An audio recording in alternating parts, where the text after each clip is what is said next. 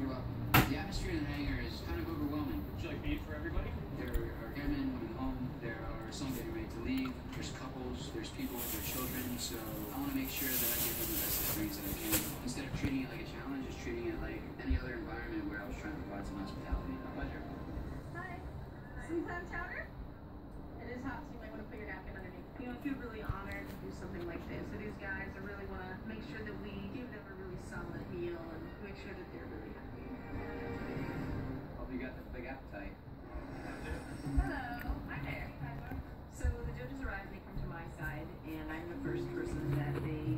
Why did you guys?